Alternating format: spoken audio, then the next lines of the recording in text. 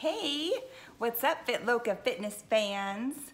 I was just sitting here thinking about um, how fun it is whenever we get a challenge started or whenever I get a new group of um, online fitness members or when I get a new client and when they, um, or even friends, when they say things like, uh, I would love to get started on a new eight week program or a new commitment to myself, but you know, the holidays are coming or I've got a birthday party on blah blah day or my anniversary is coming up or because at the end of the day, I mean, isn't that what we need to learn all these new habits for or things like that so we don't overindulge or overdo it? I mean, there's always going to be something. So if you're gonna wait for that something, you'll never get started.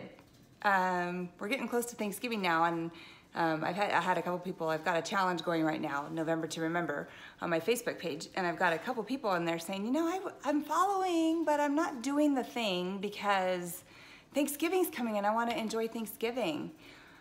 Well, we all do. That's, that's the fun part is uh, getting to see friends and family, getting to enjoy some of your favorite foods.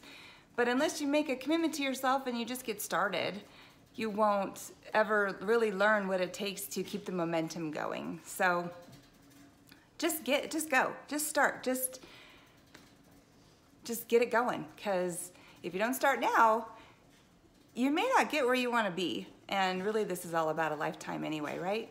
So hang in there. Let me know if you have any suggestions or anything you need help with or any questions, and um, I'll do my best to answer them. FitLocaFitness.com. Take it easy.